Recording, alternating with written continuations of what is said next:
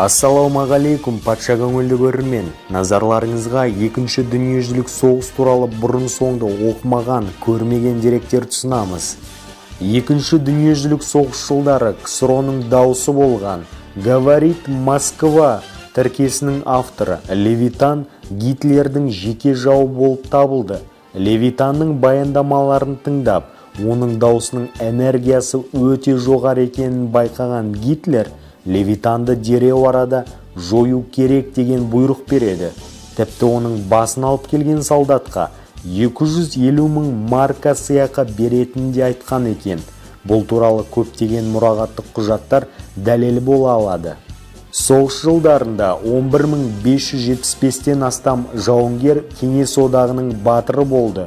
Олардың ішінде 8182 орыс 2072 украин 311 беларусь 161 татар 108 еврей 96 қазақ 91 грузин 90 армян тағы да басқа. Оның ішінде 86 әйел және 15 жасқа дейінгі 5 бала. Соғыс майданында 60 мыңнан астам ит болды. Байланыс иттері шамамен 200 мың жауынгерлік хаттар жеткізіп отырған. Соғыс уақытында санитар иттер ұрыс алаңынан шамамен 700 мыңға дейін ауыр жарақат алған командирлер мен солдаттарды шығарып отырған. Соғыс алаңынан жүзден астам жарақат алған майдангерлерді шығарған үшін санитар мен оның көмекшісіне кеңес одағының батыр атағын берген. Ал сапер иттер болса 300 үлкен қаладан мина тапқан. Екінші дүниежүзілік соғыстан соң ксро-да 43 миллионнан астам адам қаза тапты деген қорытынды жасалды. Бейбіт халық құрбандарының саны ксро-да 16,9 миллион адам германияда 2 миллион адам екен. Жалпы әзірбайжан кәсіпорындарында екінші дүниежүзілік соғыс жылдарында әскери қажеттілікке 75 тонна мұнай өнімдері өңделді. Әйелдер арасында екінші дүниежүзілік соғысқа үш полк құрылды. Оларды түнгі мыстандар деп атаған.